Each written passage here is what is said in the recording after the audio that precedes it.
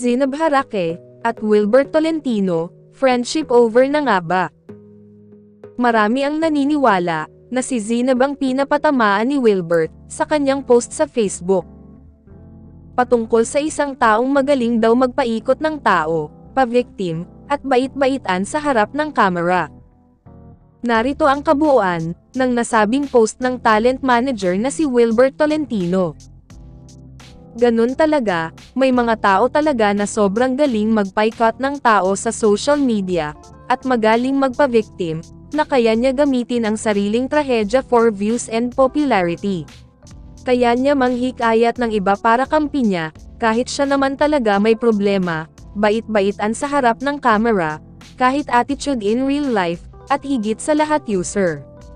Kaya gumising kayo. Lalong nakumbinsi ang mga netizen, na si Zinab ang pinapatamaan, dahil maging ang ex-boyfriend ni Zinab na si Skostek Lee, ay nagkomento sa post ni Wilbert. Kalma ma, ito ang naging reaksyon ni Skosta, at agad namang nag-reply si Wilbert. Kalma naman ako pare, na sorpresa ako sa comment mo, alam ni Papa Jesus, ang kabutihan ng loob ng isang tao, at sa mga hindi marunong mag-value ng tao, at magaling mag-ikot ng tao, sa social media, at pa-victim. Marami lang bulag, at marami ang hindi nakakaalam, behind the story, kung ano meron pag nakaharap camera, at ugaling meron pag wala ang camera. Kabilang din si Angelica Yap, o mas kilala bilang Pastillas Girl, sa naghayag ng suporta sa talent manager. Parang naiiyak ako nung mabasa ko to. Hayaan mo, may hangganan din lahat ng masasama. Love you ma, laban. At nang nag-reply si Wilbert ng, Love you Mima, thank you. Sa paniwala ng netizen, nagugat ang patama nila sa isa't isa, nang mag-post si Zainab, tungkol sa taong manggagamit, at mapagsamantala.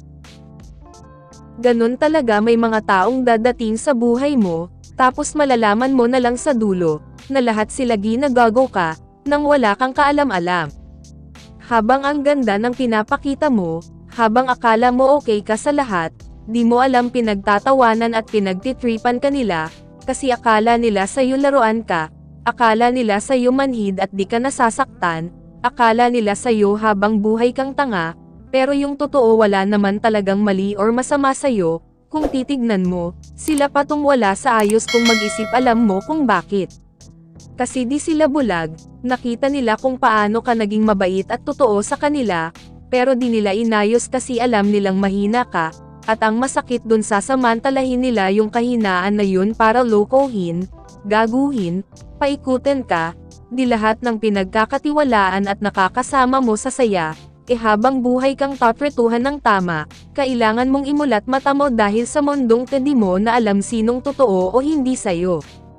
Kaya kang lokohin ng kapwa mo babae, bading na akala mo inay-inay mo, mga tropang lalaki na akala mo may respeto sa'yo kasi babae ka, mga thunders na matured kuno na taga-payo para mabilog ka, higit sa lahat yung taong akala mong kakampi mo sa buhay, ikalaban mo naman pala talaga.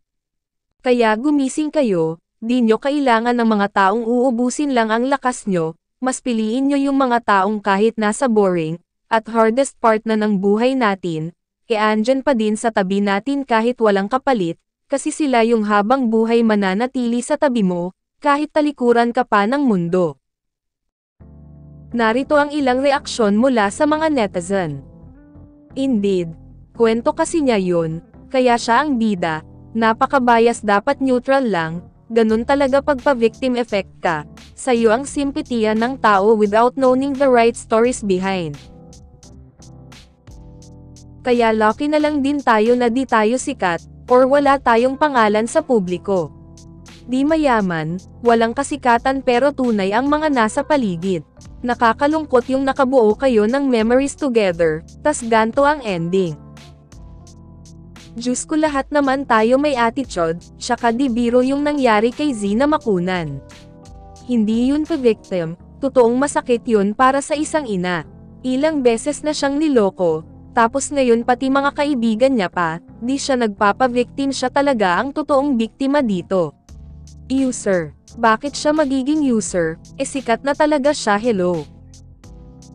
Samantala, nag-aaya naman ng inuman si Zainab, sa mga taong may galit daw sa kanya, nang mag-share ng quote sa babong page sa Facebook.